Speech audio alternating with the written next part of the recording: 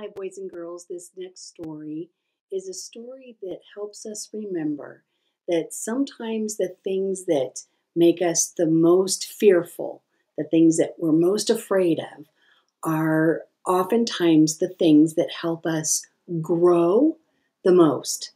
I love this story. It's beautifully illustrated and it's on my faith playlist because at the end there are a few Bible scriptures that you can go through with your family at home. So I, I hope you enjoy this as much as I do. It's uh, titled The Seed Who Was Afraid to Be Planted. It's actually been endorsed by the National uh, Day of Prayer Committee, and it's written by Anthony DeStefano and illustrated by Erwin Madrid a, a reminder for us all that uh, things that make us feel frightened oftentimes bring about the most beautiful growth. The seed who was afraid to be planted. There once was a seed who lived in a drawer in a room of a mansion by a beautiful shore. The drawer was filled up with seeds of all kinds for bushes and trees and flowering vines. The seed was quite happy and had lots to do. The drawer was quite pretty and painted bright blue. Cozy and warm, the seed felt secure. The drawer was a playground, of this he was sure. But all was not well. The seed was afraid that he would be taken and planted one day. The mansion, you see, was owned by a man whose hobby was gardening and tending his land. The man sometimes took a seed from the drawer, and no one would see that seed any more. The seed was so scared there might come a day the man would reach down and take him away. The thought was just awful and hard to believe. He couldn't imagine that he'd have to leave. Then one dark day, the drawer opened wide. The seed saw a hand reach down from outside. He tried to escape, he begged and he cried, but there was no place to run or to hide. The hand clasped about him. The seed shook with fear. He yelled to the man, Don't take me from here. Outside in the garden, the seed looked around. He saw to his horror a hole in the ground. A hole in the ground? Oh no, it can't be. I want to go back to my drawer. Can't you see? I'm scared to be planted. I want to be free. I'm in so much pain and such agony. The man was just silent. He made not a sound. He just smiled softly and put the seed down. The sky was deep purple. The seed said a prayer. The man stood above him and buried him there. He started to moan he started to groan. He felt so abandoned, forsaken, alone. Tired and frightened, he started to weep, but soon closed his eyes and fell fast asleep. All covered with dirt, he dreamed he would die, but then, all at once, in the blink of an eye, something took place there in that hole to the seed's weary body and terrified soul. He started to change. He started to glow. The little seed stretched and started to grow. What can be happening? The little seed cried. What is this feeling I have deep inside? His body expanded. He swelled and he grew.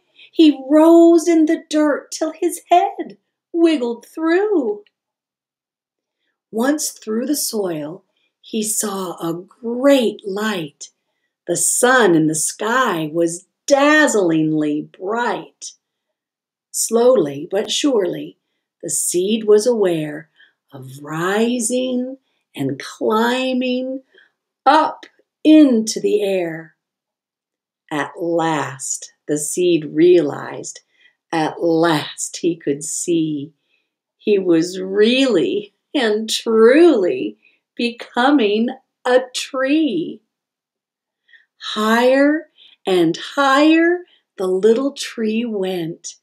Into the heavens he made his ascent. Suddenly, branches sprang from his side, hundreds and hundreds of leaves multiplied. The branches grew nuts and fruits that hung down. They swayed in the breeze and covered the ground. Then, filling the air with fragrant perfumes, the tree sprouted flowers and blossoms and blooms. Then birds began building nests for their young, joyfully flapping their wings as they sung. In the tree's branches, the baby birds napped, while woodpeckers pecked at his bark full of sap. Cardinals and blue jays flew from above. They played with the eagles and owls and doves. Squirrels and rabbits began to appear. Beautiful butterflies came flying near. The tree was amazed. He looked at the scene. The sky was so blue, the garden so green. Mountains and vineyards and cities he saw. Millions of mansions looked over the shore. The tree was so thankful and heavy with fruit, he bowed to the man in humble salute. The man stood below, a smile on his face. His children were running all over the place. They climbed up the tree. They swung from his vines. They seemed to be having the happiest time. The garden was sunlit. The tree was aware of laughter and music and life everywhere. Life in the garden, life on the shore. So much more life than he had in the drawer. A breeze stirred his leaves, a wind howled through the tree understood that all things were new. The tree understood that he had been freed. He barely remembered when he was a seed. He barely remembered his life in the drawer. His fears disappeared and returned nevermore the end.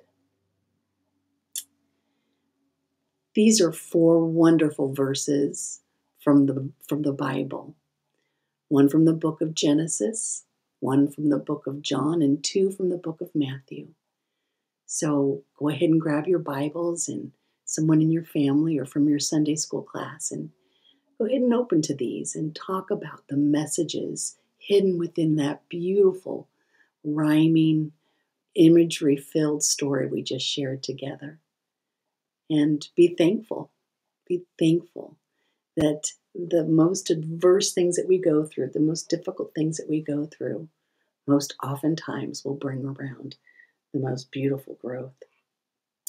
The seed who was afraid to be planted. That's the end of that story. I hope you enjoyed it as much as I did. Until next time.